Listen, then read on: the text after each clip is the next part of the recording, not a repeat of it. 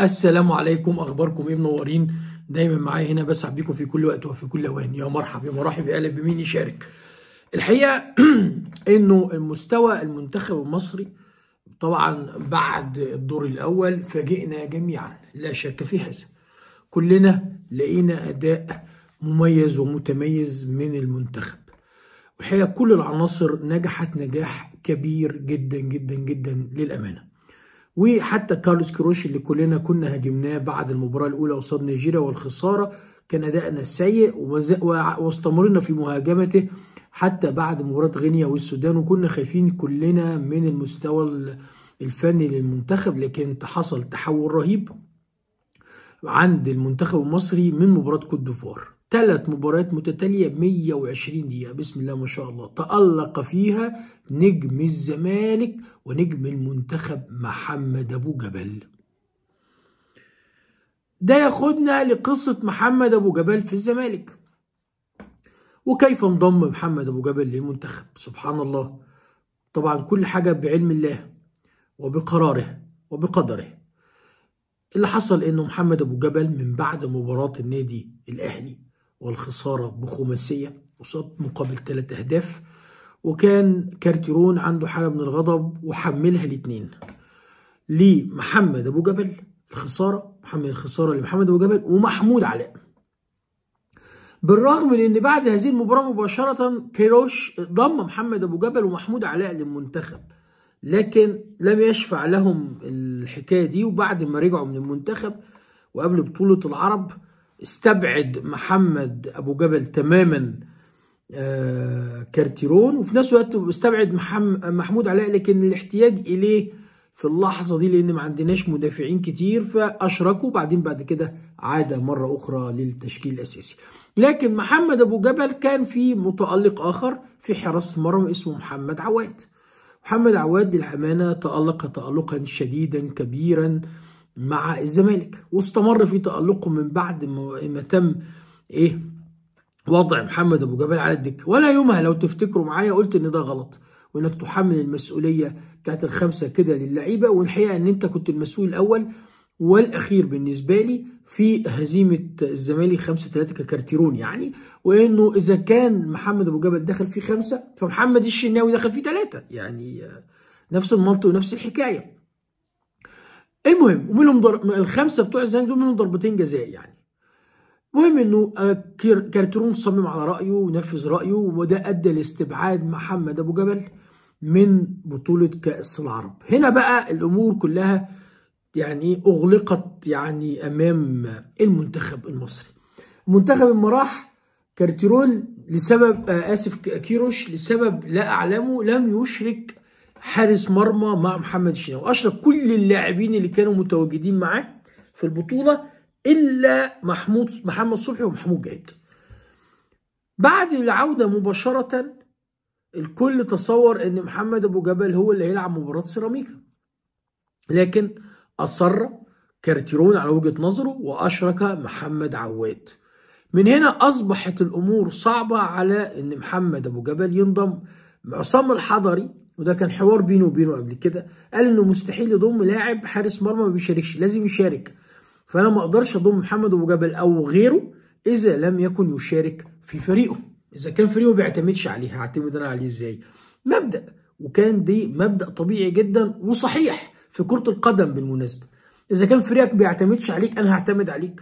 100% صحيح. هنا بقى حصل حاجة. اللي أنا فاكره وعارفه. إن إدارة المنتخب الفنية. قعدوا مع بعض كده وتحاوروا وقالوا إن إحنا آه محمد الشناوي حارس ممتاز لكن في نفس الوقت الاثنين والشباب اللي موجودين حراس ممتازين وممكن يبقوا مستقبل. والراجل معجب بيهم على فكرة سواء محمد صبحي أو محمود جاد وهو حارس مرمى سابق ومساعده حارس مرمى سابق ففاهمين قوي الموضوع. لكن أصروا على فكرة يبقى في حارس إيه؟ عنده خبرة. خبرة المشاركة في إفريقيا والأجواء الإفريقية. مين أحسن من محمد أبو جبل؟ خصوصا طب ليه مش محمد عواد؟ ما محمد عواد بيشارك. آه بس محمد مش محطوط في الأربعين اللي كانوا تم إرسالهم للاتحاد الإفريقي. أنا بحكي لكم قصة من الألف إلى الياء على فكرة. يعني كاملة. فحلو. يبقى مفيش غير محمد أبو جبل. لأن محمد فوزي اللي ضموه برضه مش يعني اسم كويس كل حاجة لكن ما عندوش الخبرات. يبقى مين؟ يبقى الحل في محمد أبو جبل. طب إزاي الحل في محمد أبو جبل؟ ومحمد أبو جبل الراجل المدير الفني نادي الزمالك مش راضي يشركه في المباراة في المباريات. وأشرك محمد عواد في ماتش سيراميكا. وكان الأمل إنهم يشركوا محمد أبو جبل بعد العودة دي بعد كأس العرب لكن لم يحدث. ماذا حدث؟ ما اعلمه أن أحد أعضاء الجهاز الفني في في المنتخب المصري. تواصل وهو مش عصام الحضري. تواصل مع أحد المسؤولين في نادي الزمالك لإقناع كارتيرون باشراك محمد أبو جبل في مباراة المحلة الأخيرة عشان المنتخب عاوز يضمه ولازم عشان يضمه يكون يشارك. فعشان خاطر مصلحة مصر والمصلحة الوطنية. افتكروا الجملة دي اللي قالها محمد أحمد بجاد لما خلى محمد الشناوي يلعب.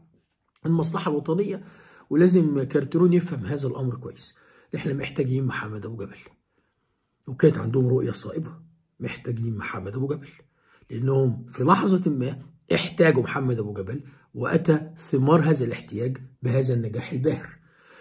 المفاجأة مش كده. المفاجأة أن الراجل بعد ما وافق بالطلب عشان المصلحة الوطنية محمد أبو جبل وهو خلاص هيركب الطيارة أصيب بكورونا. قلنا إيه الحظ ده يا جدعان؟ لكن الحمد لله ربنا كان كاتب له حاجة كويسة جدا جدا جدا جدا. وهي كأنه هيكون متواجد في لحظة خطيرة جدا في مسيرة المنتخب في بطولة أفريقيا. ويصبح نجم شباك الجماهير المصرية في ليلة وضحاها من بعد ماتش كوت ديفوار والتألق في الد... في نزل في الدقيقة 85 وكمل ال 30 دقيقة اللي هم بتوع ال extra time وتألق فيها وصد كرة تاريخية غير عادية. وجاءت مباراة المغرب وتألق وحصل المشهد اللي أنتوا شفتوه بتاع رجليه وإنه عيط وإنه مش قادر يطلع وده أثار يعني جزء من ما يطلق عليه التعاطف الشديد من الجمهور المصري كافة ليه. برغبته إنه بيشارك وعاوز يشارك وبيعيط وبيبكي عشان إن هو مش قادر يكمل مسيرة مع المنتخب. كل مصر فرحت فرح كبير وبقول كل مصر بإن إحنا عرفنا تاني يوم أن إيه؟ أيوه أن محمد أبو جبل سوف يكون مشاركا في ماتش الكاميرون. جه ماتش الكاميرون تألق تألق خرافي غير عادي في ضربات الجزاء ونجح سبحان الله ما لم يكن شارك مع الزمالك بداعي المهمة الوطنية بإصرار من. من مسؤولين الجهاز الفني للمنتخب المصري ما كان. كان سيشارك محمد أبو جبل عشان كده كل حاجة للأمانة محمد أبو جبل مثال حي لمنطق مهم قوي اللي هو كل حاجة مكتوبة الحل الوحيد بس في الكتابة دي عشان توصل لها؟ إنك تجتهد في عملك وفي حياتك وخلاص هتوصل لها هتوصل لها. إذا ربنا أذن طبعا لا شك في هذا. دي قصة مشاركة محمد أبو جبل في المنتخب من الألف إلى الياء. ودي يعني بقول لكم معلومة حقيقية. عاوز أقول لكم حاجة برضو تكملة في محمد أبو جبل. تألق محمد تألق محمد أبو جبل مع المنتخب بهذا الشكل أحرج شخص واحد هو باتريس كارتيرون. مش إحراج يغضبه لا إحراج إنه هيضطر يخالف وعده. أيوه. كان عشان يقول لمحمد عواد ما تزعلش إن أنت مش ما شاركتش ماتش المحله عشان محمد لازم يروح المنتخب بإنه اداله وعد بإنه لو محمد ما شاركش في المنتخب وكان أساسي ستكون أنت الأساسي معي في الدوري بطولة أفريقيا اللي هتبدأ على طول والدوري. لكن الآن تألق محمد أبو جبل وأصبح كارتيرون في حيرة بين تألق رهيب غير عادي من محمد أبو جبل وتألق كبير وإنقاذ الزمالك في مسيرة دوري في مسيرة كأس رابطة الأندية رغم الخروج والخسائر لكن محمد عواد كان نجم الزمالك الأول ويكاد يكون نجم الزمالك الوحيد في هذه البطولة. معناها أنه تألق حيرة شديدة جدا جدا جدا. في حاجة كمان عاوز أقول لكم عليها. إدارة نادي الزمالك باعتبار أنتوا عارفين إن في انتخابات بعد أيام قليلة. الانتخابات دي آه الكل دلوقتي مهتم بيها.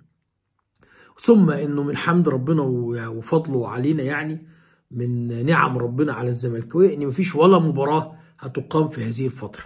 فترة إجراء الانتخابات ومشاكل الانتخابات وحكاياتها ورواياتها.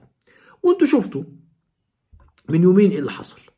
والله أعلم إيه اللي جايش برضه ممكن يبقى في حاجات. الله أعلم إيه اللي ممكن يجرى. لكن لأن في انتخابات على طول الأمور يبقى كل الأمور المالية يجب أن تتوقف. يعني إيه أي تعاقدات مش هتحصل دلوقتي. حتى لو ما يشبه الحاجات الحاجات اليومية بس اللي ممكن تحصل. لكن حاجة ممتدة المفعول أسبوع اتنين تلاتة شهر شهرين كله يقف لغاية انتخابات ما يتم اجراءها ويجي مجلس إدارة ياخد قراره في هذه الشؤون. وخصوصا الفلوس بقى اللي تتخطى أما تيجي تصرف فلوس يعني تتخطى المليون والاثنين والثلاثه والحاجات دي. كل دي حاجات بتخلي انه الزمالك يبقى في منطقة اسمها إيه؟ ان إحنا نوقف كل الأمور المالية. هنا اغضب الموضوع لعيبة نادي الزمالك. ليه؟ لأن من ضمن الأمور التي تم ايقافها وعدم تنفيذ الاتفاق فيها هو حصول لاعبي الزمالك على جزء من مستحقاتهم المتأخرة وكانت إدارة الزمالك قد وعدتهم هذا الوعد. لأن الفلوس متأخرة للكل. فوعدتهم إن خلال قبل الانتخابات هيتم صرف جزء من المساحات لكن لن يتم حسب المعلومات المتداولة دلوقتي إنه لن يتم صرف أي جزء من المستحقات خلال الكام يوم اللي باقيين لحين إيه إجراء الانتخابات. النهارده خلاص بقينا يوم السبت أهو آه 5 فبراير اليوم الخميس اليوم الجمعة الانتخابات ومن ثم أسبوع والأمور دي هتبقى شائكة شوية عشان دي مصاريف و و فتم إبلاغ لعيبة نادي الزمالك بإن المستحقات المتأخرة سيتم صرف جزء منها بعد الانتخابات. الحقيقة إنه إذا حسب ما فهمت إن لعيبة الزمالك حسوا حسوا باستياء شديد على اعتبار إنه كان هناك وعد ولم ينفذ ادي أول حاجة. الحاجة الثانية إنه زملائهم الأجانب اللي قدموا انذارات في نادي الزمالك خدوا كامل المستحقات وهم لأ. وده أمر بيثير مش الغضب يعني الاستياء شوية منهم من الله طب اشمعنى إحنا؟ لكن الأمانة إن هو اللي أنا أعرفه إنه كانت إدارة زكاه هتديهم الفلوس لكن موضوع الانتخابات ده أجل الحكاية شوية. والموضوع خلاص يا جماعة يعني إذا كان هيبقى أسبوعين على الأقل يعني لأنه آه مجلس إدارة جديد أكيد هيبقى فيه أمين صندوق جديد. ومن ثم لازم يبقى فيه توقيعات جديدة وتروح البنك واللي يعتاد من الجهة الإدارية والحاجات اللطيفة اللي أنتوا عارفينها وحافظينها كزملكاوية. يعني مر علينا كتير الحكاية دي.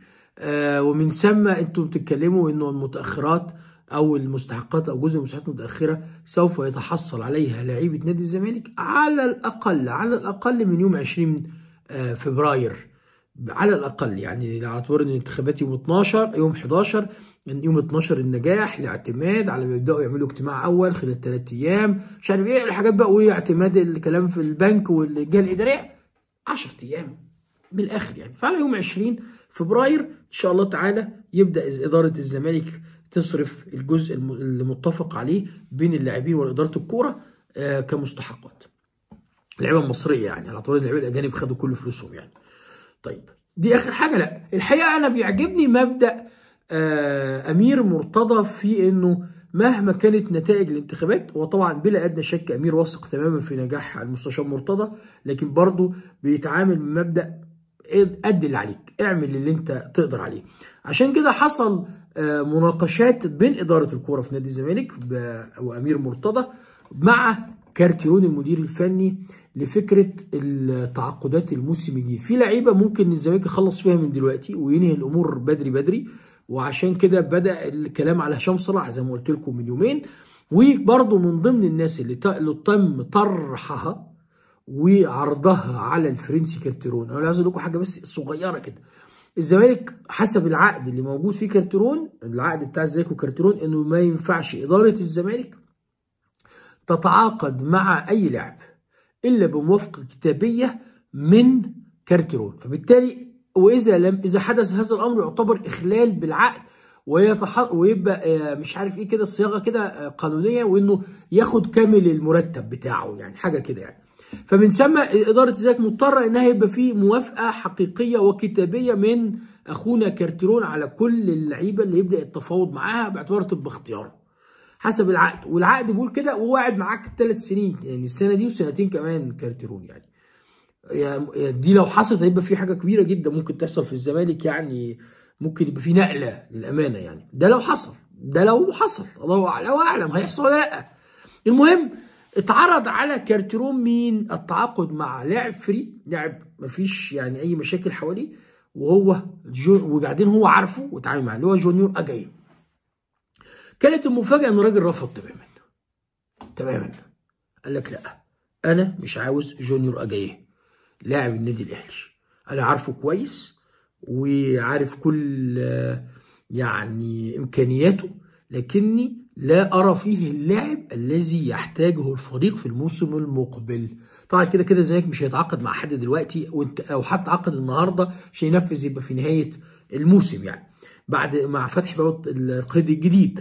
ومن ثم الراجل قال لهم لا جونيور اجاي أعلم إمكانياته ولكني لا لا أرى أنه اللاعب الذي يحتاجه الفريق في الموسم المقبل. وحتى اللحظة أغلق ملف جونيور اجاي طبعا كل الأمور جائزة في نادي الزمالك وكل الأمور قد تحدث في أي لحظة عن نادي الزمالك. لكن أنا حبيت أوضح لكم الأمور الخاصة دلوقتي بنادي الزمالك. وخلال الأيام اللي جاية أكيد هنتكلم عن كل الأمور وخصوصا الانتخابات. لأن أبواب الانتخابات فتحت.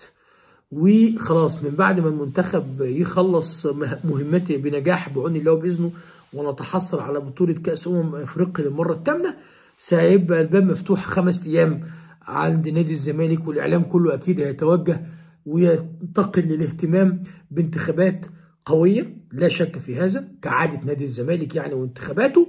ومنشوف الأمور هتاخدنا لغاية فين. انتخابات نادي الزمالك يوم الجمعة يوم 11 فبراير واللي على يوم واحد فقط تبدأ من التاسعة صباحا ويغلق الباب تقريبا سبعة مساء. ونبدأ بقى من الساعة 8 نعرف من سيصبح مجلس إدارة نادي الزمالك الجديد لمدة ثلاث سنوات وكم شهر 8 أو 9 أشهر.